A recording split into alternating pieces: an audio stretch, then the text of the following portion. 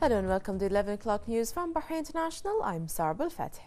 His Royal Highness the Prime Minister Prince Khalifa bin Salman Al Khalifa chaired the weekly cabinet meeting today at the Palace. His Royal Highness welcomed the approval of the General Budget Draft Law for the fiscal year 2017 to 2018, which was the result of close cooperation between the executive and legislative authorities, combining the rationalization of spending and financial discipline in order to satisfy current developments, preserve the rights of citizens, and strengthen and support the position of a medium to limited limited income families.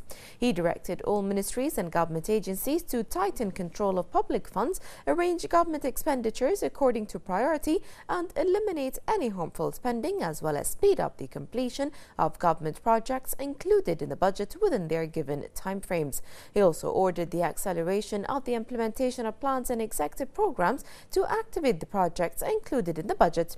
His Royal Highness the Prime Minister ordered improved healthcare services, housing, education, and social services. He urged ministries and government agencies to regard the private sector as a key partner in economic performance in the overall development process. On a related note, His Royal Highness praised the Gulf Support Programme as a supportive and complementary force for the projects included in the general budget and for its role in boosting the national economy. The cabinet condemned the ban of worshippers from entering Al Aqsa Mosque by the Israeli occupation authorities, describing it as a provocative act and a clear violation of the sanctity of holy places and international laws that guarantee freedom of worship and the practice of religious rights.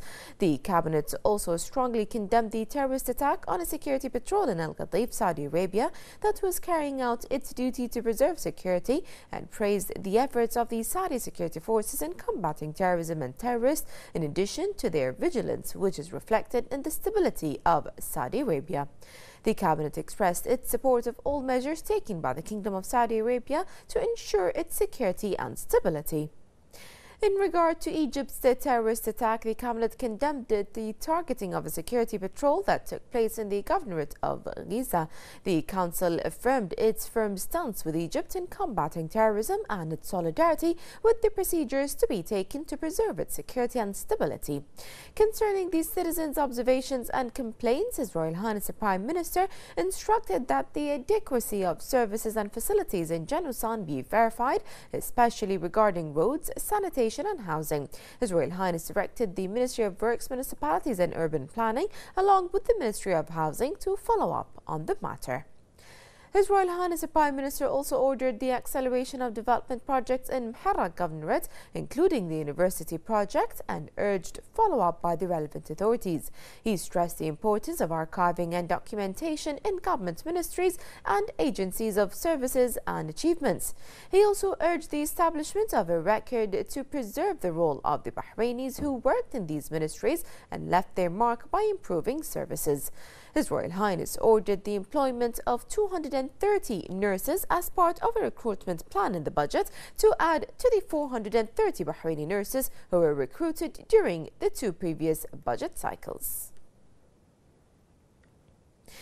Under the directives of His Royal Highness the Prime Minister, the Cabinet examined the housing portfolio and its achievements in providing adequate housing for citizens. Housing is considered a priority in the decent life the country is keen on providing to citizens. There was also a showcase of the development of the housing process from 1960 until 2017. The Cabinet approved the merger of the General Directorate of Urban Planning at the Ministry of Works, Municipalities and Urban Planning with the Planning and Urban Development Authority into an entity called the Urban Planning and Development Authority, which will answer to the Minister of Works. The Cabinet agreed that the main organizational structure will be headed by an Executive President with the rank of Undersecretary and a Vice President with the rank of Assistant Undersecretary and will be structured into five departments. The Council also mandated the authorities to take the necessary legal and technical measures. The Cabinet approved the executive regulations of the Law of Standards and Metrology and the draft resolution issued from them. The Cabinet appointed the Ministerial Committee on Legal Affairs to undertake the necessary procedures to ratify the agreement between Bahrain and the Organization for the Prohibition of Chemical Weapons on its privileges and immunities signed by Bahrain at The Hague. And the Cabinet discussed a number of proposals and approved the government's draft response to them as prepared by the Ministerial Committee on Legal Affairs. As part of Bahrain Saudi Security Cooperation and Coordination, Interior Minister Lieutenant General Sheikh Rashid bin Abdullah Al Khalifa visited Saudi Arabia yesterday. He was welcomed at King Abdulaziz International Airport in Jeddah by Saudi Interior Minister His Royal Highness Prince Abdulaziz bin Saud bin Naif bin Abdulaziz Al Saud.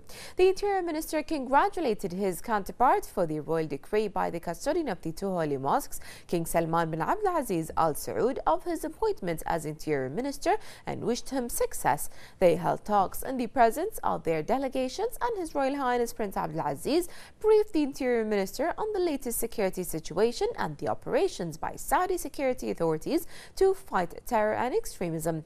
The Interior Minister focused on the results of his visit to the U.S. last week and topics of common interest were also discussed.